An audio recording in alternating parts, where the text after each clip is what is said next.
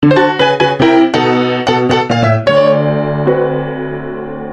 いはいはいはいはい。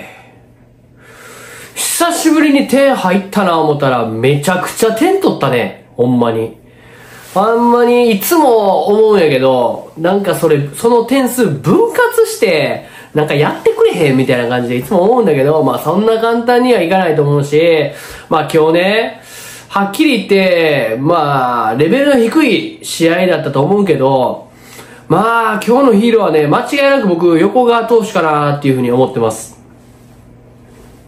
ってな感じで始まりました。小山翔平ベースボールチャンネルです。今日も最後まで見れてください。よろしくお願いします。はい、今日はですね、先ほど終わりました、あベイスターズ対ね、ジャイアンツの試合解説の方やっていきたいと思います。はい、えー、今日ね、巨人打線がね、大爆発しましてね、まあ、久しぶりに、まあ、点取れたなっていうところはあったんですが、まああのーもちろんね、打者、うん野手陣も頑張りましたと。うん、まあこんだけね、今日12点取って、取ったんですけど、まあ素晴らしいと思うんですが、まあやはりね、僕は、僕が思うに、まあ今日のヒーローっていうのは間違いなく横川投手かなって思ってまして、まあ、好リリーフしたんですね。えー、まあ、山崎伊織投手が、まあ、今日、中12日かなんかで、まあ、投げたんですけど、まあ、なかなか、内容が良くないというかね、まあ、また動画にしようかなと思ってるんですけど、なんで山崎伊織が悪いのかっていうところをね、えー、動画にしようかと思ってるんですけど、あの、まあ内容悪かったですよと。で、えー、まあ、結構ね、接戦というか、こう、追いつかれそうになった時に、まあ、横川投手が、あの、行って、そこから2回3分の1かな、を、もうパーフェクトのリリーフをしたんですね。もう間違いなく今日は、まあ、ヒーローはね、えー横川投手だと思いますし、まあ、先発であったりとか、リリーフもね、いろいろ経験した中で、今ね、えーまあ、リリーフをしてくれてるっていう、まあ、この横川投手の存在っていうのは非常に大きいと思いますし、あのー本当にね、ナイスピッチングだだったなというふうに思ってます。はい、じゃあですね、えー今日の動画の構成としては、まず得点シーン。まあ、めちゃくちゃあるんで、ちょっとね、えー簡単に振り返っていきたいと思うんですけど、得点シーン振り返っていきまして、その後に、えースタメンの変更点見ていきまして、それで最後で僕が気になったところであったりとか、ここポイントでしたよみたいなところをですね、えーできるだけわかりやすくね、皆さんに飽きさせないようにね、えーやっていきたいと思うんで、この3本でやらさせてください。はい、で、それで本編入る前にですね、ちょっと一つだけ告知させてください。あの、僕ね、チャンネル登録者数5万人。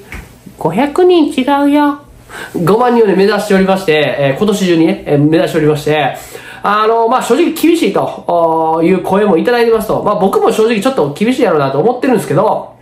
まあ、可能性にかけてね、ちょっと、やりたいなと思ってるんで、目標にしたいなと思ってるんで、まあ、あの、やった暁にはですね、行った暁には、まあ、このチャンネルジャイアンツの選手読んで、えー対談とかしたいなって思ってるんで、ぜひね、見たいなと思う人いたったら、い、あの、いましたらね、えーチャンネル登録よろしくお願いします。よろしくお願いします。じゃあね、本編いきたいと思います。はい、まず、えー得点シーン振り返っていきたいと思うんで、今日長いですけどね、えーできるだけ短くまとめるんで、えー僕の、この、胸あたりにですね、え画像を出しながら、ちょっと一緒に見ていきたいなというふうに思ってます。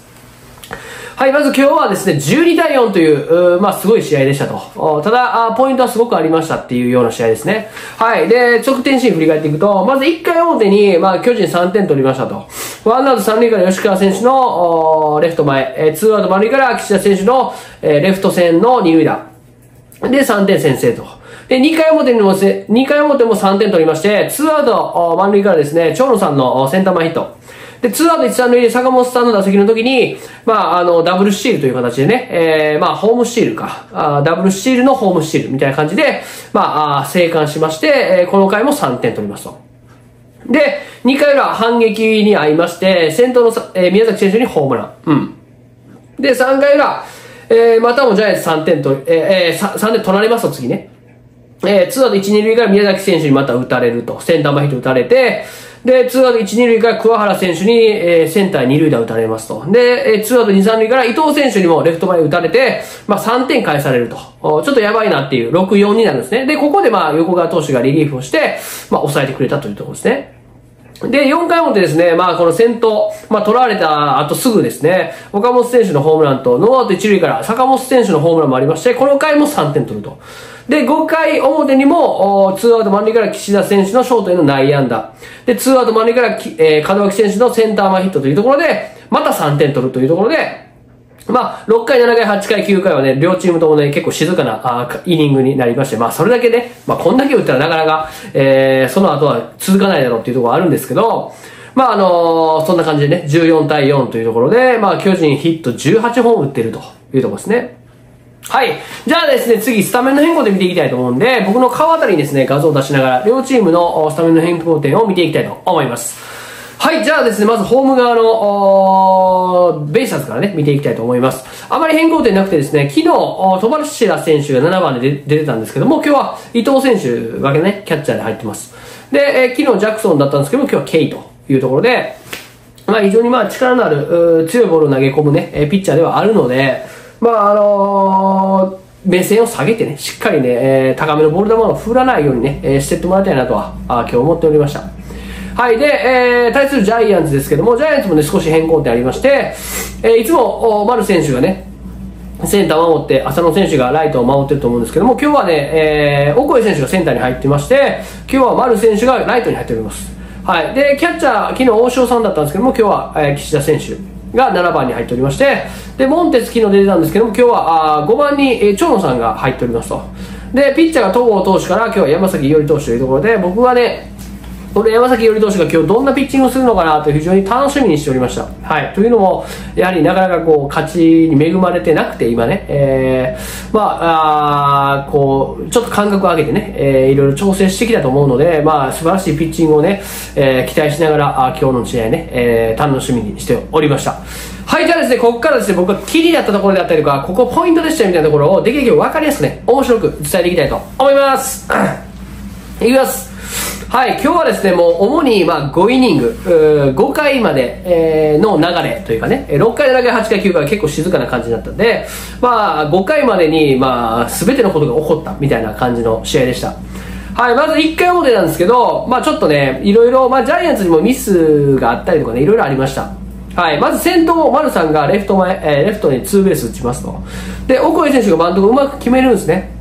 で、ワンアウト三塁という場面で、吉川選手がまあ先制タイムリーね、ちょっと詰まりながらではあるんですけど、まあレフトにね、タイムリー、ヒット、ポテンヒットですね、打ったんですが、まあちょっと気になったのは、この当たりで吉川選手の走力。で、二塁行けへんかったかなって、えー、普通だったら絶対二塁行けるはずの打球なんですね、ポテンヒットで、まあ相手の守備もちょっとこう、えー、ごたごたってしてた時に、えー、二塁絶対行けたんですけど、そこで吉川選手が二塁に行けなかったっていうのは、ちょっとね、まあ、ボーンヘッド、うん、とまでは言わないですけども、ちょっとね、これ、あ、どうなのっていうところはね、正直あったんですね。で、ワンアウト一塁から岡本選手がレフト前ヒット打ちまして、ワンアウト一二塁で長野さんに回ってくるんですけども、そこでランナー二塁の吉川選手が3と、まあ、いわゆるスチールを決めるんですね。で、まあ、解説、今日見てた解説の西さんもおっしゃってたんですけど、これはね、さっきのなんかその、二塁行けなかった走塁を取り返すかのような形でね、なんかそのシール3投したからっていうところあったんで、まあ、走ったのはすごく良かったですけども、僕はどちらかというと、先ほどのレフト前ヒット、吉川選手のレフト前ヒットで、二塁に行けなかった方が、ちょっとこう、うん、なんか違和感があるかなっていうふうに思います。で、長野さんファーボールになりまして、で、ワンアウト満塁というところで、坂本選手、ピッチャーゴロ打っちゃったんですね。で、普通で言ったら1、2、3、えー、ピッチャー、キャッチャー、ファーストのダブルプレー取れるはずなんですよ。なんですけど、まあ、キャッチャーの伊藤選手が、まあ、送球が少しワンバンというか、ショートバウンド投げて、まあ、これ僕あんまありえないんだと思う、ありえないと思うんだけど、で、あの、まあ、ちょっとゲッツ崩れっていう形でね、ランナー残るんですね。で、ツーアウト満塁で岸田選手がここで、初球のストレートを、まあ、レフトへの二塁打打つんですけど、これは、まあ、こういう、あ、取れるアウト。まあ、いろいろあるじゃないですか。ゲッツー崩れで点入ったとか、なんかゲッツーを取れなかったからランナー残って、その後の、えー、打者がヒット打ってみたいなところって野球のほんまあるあるなんですね。野球得点あるあるなんですけど、まあ、これね、あのー、もうこれ、もうゲッツー崩れになった時点で絶対岸田打つだと思ったんですね、僕ね。で、それで、大体こういう時って、ほんま初球振りに行った方がいいんですよ。うん、で、それを岸田選手がね、しっかり初球振りに行ってヒットを打ったってことは、まあ、岸田選手のその野球観というか、この野球の流れとかを読む力も非常に良、えー、かったんじゃないかなっていうふうに思います。はい。で、次、1回裏行きましょうか。1回裏。はい。えっ、ー、と、まあ、DNA ね、まあ、やっぱりこう、まあ、今、クライマックスね、3位とか4位とかのこうところをね、争ってるじゃないですか。で、僕今日見てて、まあ非常にこう、DNA がなぜ、えー、力ありながら、あ1位や2位にね、いないかっていうのがすごく分かった試合でもあったんですね。というのも、まあ、1回裏ね、これノーアウトの先頭ね、カジュアル選手ヒット打つんですよ。センター前ヒット打ちますと。で、ノーアウト一塁で、牧選手が、まあ、センター前ヒット打つんですね。なんですけど、まあ、その、梶原選手が三塁になって、三塁でアウトになるんですよ。うん。で、普通で言ったらこれ初回に3点取られて、まあ、あのね、そんな無理、無理しなくていいというか、うん、そんなにこう、一か八かの走塁ってしなくていいと思うんですね。うん。まあ、セーフになれるんだったらいいんだけど、でも、アウトになっちゃってるんで、これランナー貯めていきたい場面なのに、三塁でアウトになっちゃってるんで、それもったいないんですよね。非常にもったいないですね。だから、まあラ、ランナーコーチも悪いと思うんだけど、回してるね。うん。だけども、これで三塁でアウトになって、ワンアウト一塁になってしまうのかっていうのは、まあ別に、あの、敵チームなんで別にそこまで思わないですけど、ジャイアンツがこの走塁してたら僕マジで切れますよ。ほんまにマジで。だからそういうレベルなんですね。で、ワンアウト一塁で佐野選手、まあセカンドゴロ打ったんですけど、まあ吉川選手のポジショニングが非常に良くて、まあ、結構捉えられてるんですね、この時点から。で、えー、まあ、アウトにはなると。アウトは取れる、取れると。で、ツーアウト二塁でオースティンに、まあ、サードゴロだったんですけど、このサードゴロも結構捉えられてるんですね。だから、まあ、打ち取ってはいるんだけど、まあ、結構捉えられてるなっていうところは、非常にね、序盤から感じてたんですね、僕ね。はい、で、次、えー、1回裏なんですけど、またこれね、ジャイアンツが3点取る回なんですけど、えー、じゃすいません、えー、2回表ですね、2回表なんですけど、えー、これね、えー、っと、まあ、ワンアウトからまた丸さんがね、初球を、まあ、ツーベース打って、で、オコエ選手もワンアウト二塁で、えー、ライト前ヒットしますと。で、ワンアウト一三塁で、えー、吉川選手の時にですね、えー、っと、オコエ選手が6球目にスチールを決めまして、えー、2、3塁となるんですけど、まあ、吉川選手は空振り三振と。で、ツーアウト2、3塁で岡本選手の時に、えー、まあ、ツーボールになって、まあ、申告敬遠しますと。で、ツーアウト満塁で、これ、長野さんですよね。で、まあこれ結果的に言うと、まあセンター前ヒット打つんですよ。うん。で、ポテンヒットなんですね、これもね。うん、なんですけど、まああのピッチャーのね、K 投手が結構マウンドで怒ってるんですね。まあそれは多分おそらく自分に対して怒ってたりとか、まあしてるんだけど、してると思うんですけど、まあこの、これも、あの解説の西さんもおっしゃってたんですけど、今日ね、風がね、結構、あの、ホームからセンターに吹いてたんですね。で、あの、そういう時って打球が伸び、伸びるというか、外野にこう吹いていく打球になるんで、どっちかっていうと、間のフライとかっていうところは、外野が取った方が取りやすいんですね。というのも、打球も外野に伸びていくし、えー、野手はね、内野手はこう、後ろを向いて取らないといけないんで、すごく難しい体勢になるんで、どっちかっていうと、前にこう走ってきてる外野手が取った方がいいんですね。で、そこの、今日の風こうなってるから、相手のフライは外野が行こうねとか、そういう確認も、してたのかなっていうふうに思う。まあ、わからないです。してて、こういうヒットになってるのかわからないですけども、あのー、うん、そこを、そういう細かいところを突き詰めていけてるのかなって、ベイスターズは。っていうふうに僕正直思いました。はい。で、えー、次、えー、ここでヒット打たれて、で、上茶谷投手にね、変わるんですよ。ピッチャーがね。で、ツーアウト一三塁で坂本さんっていうところで、ここで、まあ、あの、ダブルスチールを試みるんですけど、まあ、その心得、その心はというかですね、まあ、坂本選手がなかなかこう、打ててないと、っていうところで、まあ、ちょっと、まあ、ギャンブル的なところでね、まあ、ダブルスチールをかけた方が得点を取れるんじゃないかっていう多分、ベンチの意図もあったと思うんですね。で、そこで、えー、まあ、ツーストライクに追い込まれて、えー、ツーストライクに追い込まれて、えー、ファーストランナーがスチールをして、で、あの、キャッチャーって、その、一三塁になった時に、あの、サインを出すんですね。そのサインの意味って、え例えばランナーがスタートしたら、えー、この場面では、例えば二塁に送球するのか、ピッチャーに送球するのか、えー、はたまたこう、牽制をしてサードにけあの送球するのかとか、いうサインを出してるんですね。一三塁の場面で。うん。で、ここで、伊藤選手の送球見てたんですけど、ピッチャーになんか返してるような感じで投げてるんですけど、ピッチャーの上茶谷投手が、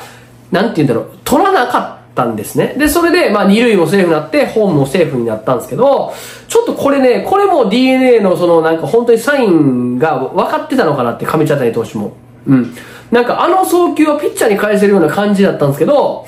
なんかその、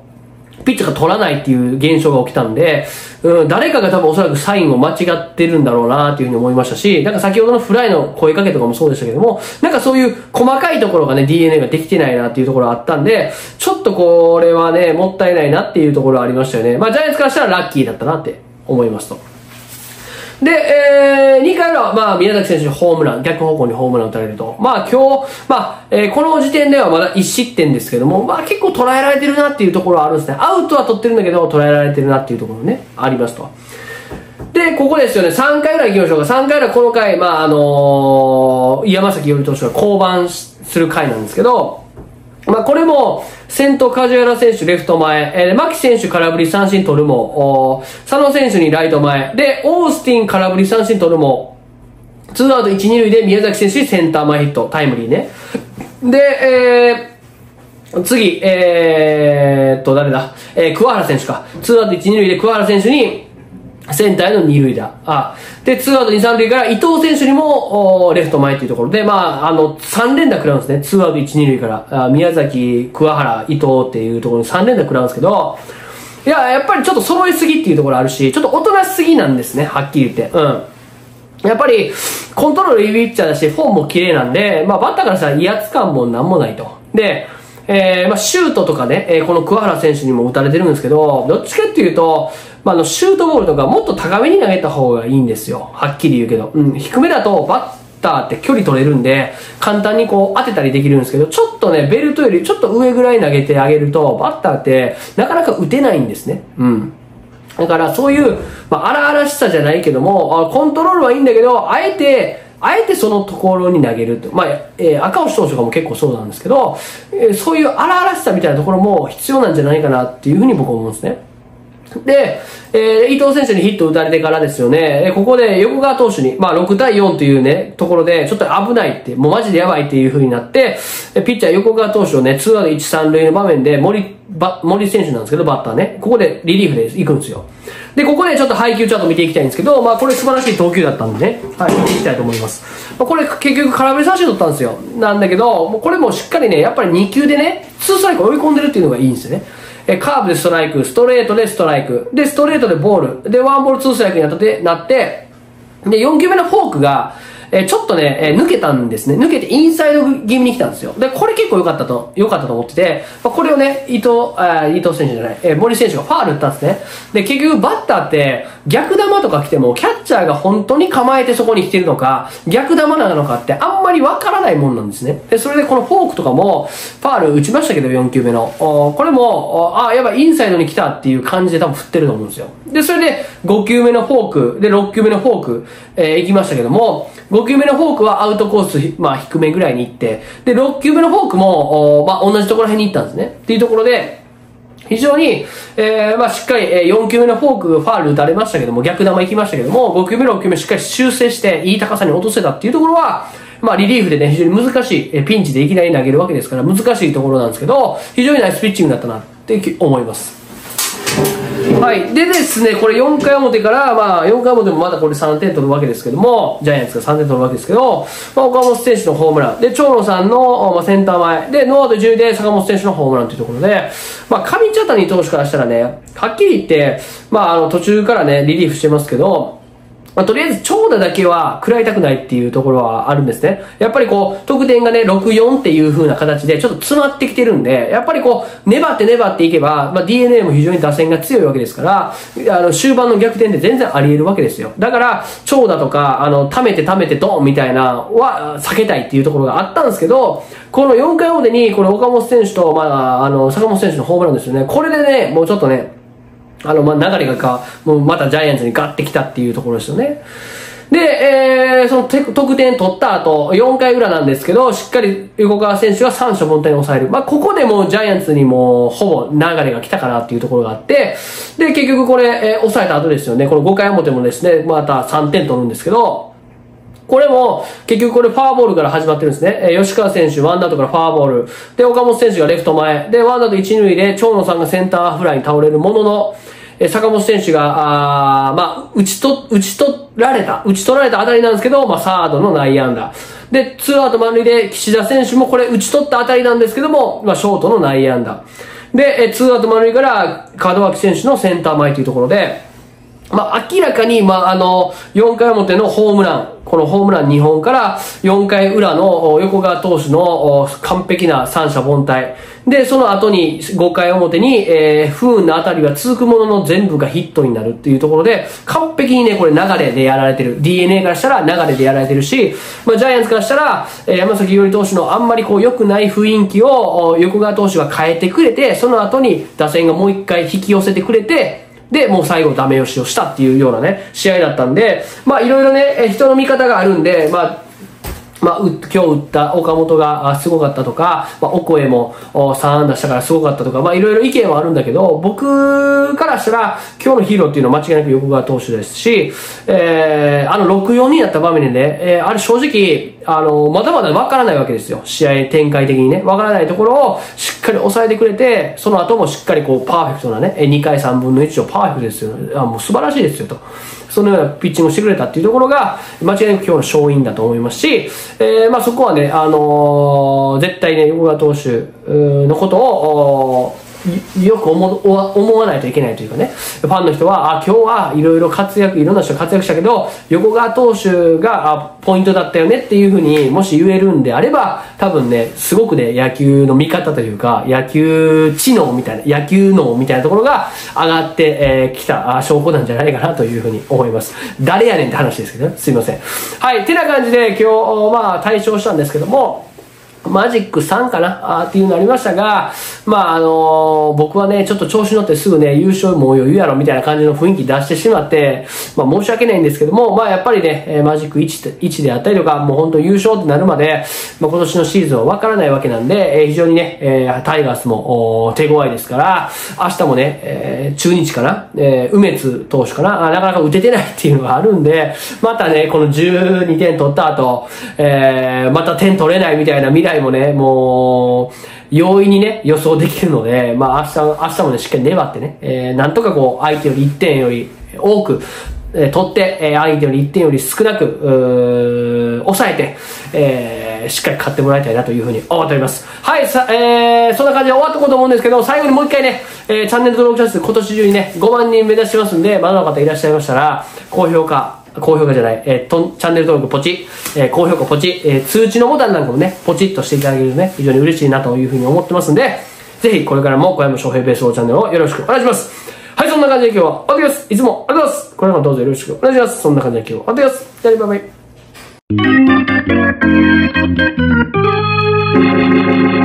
イ。